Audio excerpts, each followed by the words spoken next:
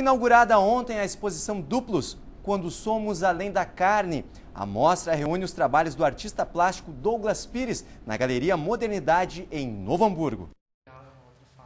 O projeto do artista Douglas Pires foi criado para o mês mais romântico do ano. Nas obras, representações do amor.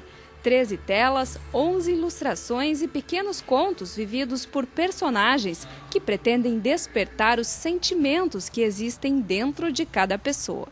O artista faz uma brincadeira com os opostos razão vezes sentimento, o que ele considera os dois lados dos relacionamentos modernos.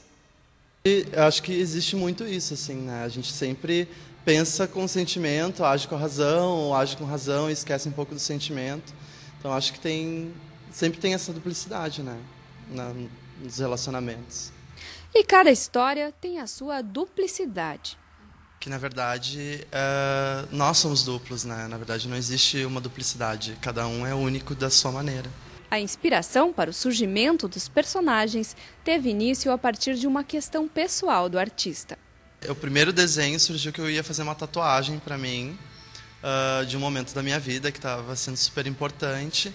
E aí eu fiz o desenho e aí surgiu a ideia de pintar, assim. Daí eu comecei a pintar, daí comecei a curtir, daí começou a meio que ser uma terapia para mim, assim.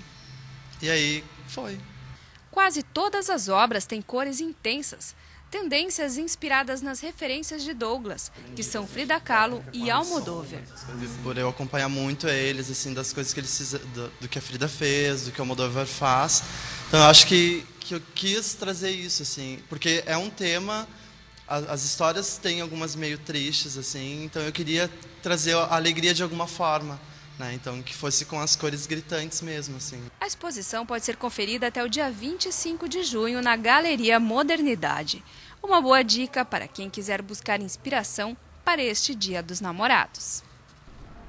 O endereço da Galeria Modernidade é na Avenida Doutor Maurício Cardoso, número 1904, no bairro Hamburgo Velho.